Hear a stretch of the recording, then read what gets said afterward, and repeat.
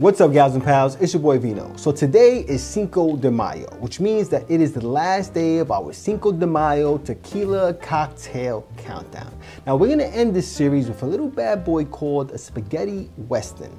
Now, if you don't know what a spaghetti western is, that is a subgenre of western films. You know those old Clint Eastwood films that were produced in Europe. And the reason they were called spaghetti westerns is because most of them were directed by Italians. So you know, spaghetti Italians, you know the whole thing. You know it makes you wonder if, it were, if they were filmed in New York, would they call would they be called like a bacon, egg, and cheese westerns? You know what I'm saying?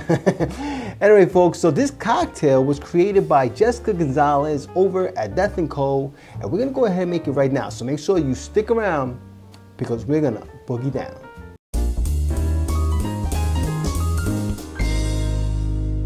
All right, folks, so this is a stirred cocktail. This is actually the first stirred cocktail of our tequila series. So this is gonna be nice. You know, Vino loves stirred cocktails, all right? Now let's look at what is in the sauce. The first thing we're gonna need is one ounce of a Reposado tequila. And per usual, Vino is going to be using my Espolon Reposado tequila, but you can use whatever you guys have in stock, all right?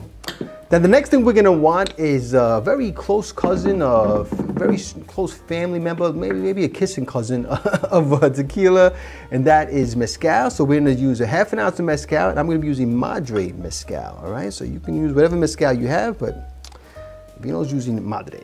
All right, so let's go ahead and put that to the side. And then the next thing you're gonna use, which really excites me, because damn, God knows people know I love my Amaro, okay? We're gonna be using three quarters an ounce of Amaro Nonino. Now this is, this is delicious uh, Amaro. So I'm really excited to see how this shows up on the cocktail. This is gonna be very nice, very, very nice, all right? And then we're gonna do one dash of orange bitters. I'm gonna be using Angostura bitters, all right? You know, threw a couple dashes in there, you know, just for just for good measure. You know what I'm saying? Now let's go ahead and add some ice to our mixing glass.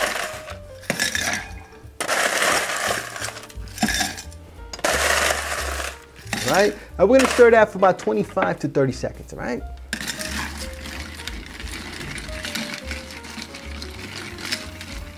All right, folks, I think we stirred this bad boy up enough. Let's go ahead and Give it a sample. Ooh, that's nice. That's nice, all right? So let's put that to the side and put that to the side. And we're gonna get our glass out. You're gonna be serving that in an old fashioned or a rocks glass, all right? And then we're gonna go ahead and use ourselves a nice size cube. We wanna use a big cube, all right? And then let's go ahead and pour this bad boy into our glass, all right? There we go, beautiful. Mmm, you can smell the smokiness coming off of the mezcal. Very, very nice. All right, there you go. Beautiful. Oh, I love that color. Nice straw color. Very, very nice. All right. Now we're gonna go ahead and grab ourselves a, uh, a grapefruit uh, um, peel. All right. And do a little twist. Whatever you want to do. All right. Nice long peel there for me. And then I'm gonna go ahead and express them oils onto the glass. All right, then I'm gonna rub it for some good luck. And then as Vino always does, I'm just gonna go ahead and just clean up a little bit. I'm not gonna get too fancy with it because I'm just gonna throw it inside the glass anyway, all right? There we go, we're doing a nice long one there, all right folks? And there it is, our spaghetti western cocktail.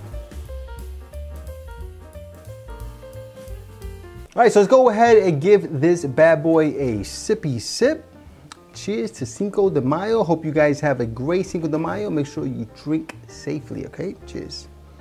Oh, right the nose, those beautiful grapefruit notes. I mean, that's a nice way of saying hello, drink me, pal. oh, that's nice. Look, it's a mezcal cocktail. I, don't care what anybody says, okay? Because you're getting that smokiness of the mezcal right up front. It's the first thing you taste but it's very, very nice, guys. And the Nonino adds a beautiful sweetness to the cocktail has some citrus to the cocktail, a little bit of some like, uh, you know, some ripe strawberry notes as well. You get a little bit of that there as well. Um, it's just very nice. This is this is a nice sipper, guys. This is look at the end of the night on Cinco de Mayo when you just want to relax after a, long day of going crazy, eating tacos and you know wearing sombreros and going nuts. This is a nice way to kind of end things. A little nightcap, you know what I'm saying? Get another sip. Mm. Oh yeah, this is nice.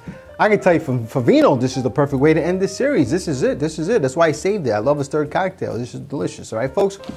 Anyway, look, I hope you enjoyed this Cinco de Mayo uh, countdown, uh, tequila countdown series. You know, let me know down in the comments which one of these cocktails you tried, which ones you might want to try, what, what, was your favorite, maybe you didn't like something too much, uh, or let me know if there's any tequila or mezcal cocktails that you guys like that I did not make, and maybe I'll make them next year, or maybe I'll make them during the summer or something like that, you know what I'm saying? Um, you know, just share with me what is your favorite uh, tequila or mezcal cocktail, and also what do you guys love to do on Cinco de Mayo? What is your favorite thing to do? You like to go out to a Mexican restaurant? Do you like to just sit home and drink? You know, go to a Mexican parade, Mexican Day parade. You know, what do you guys do on Cinco de Mayo, all right, folks? Anyway, look, if you like this video, please press like, please subscribe, and please share with your family and friends. Remember, sharing is caring, and when life gives you lemons, make yourself a cocktail. Cheers.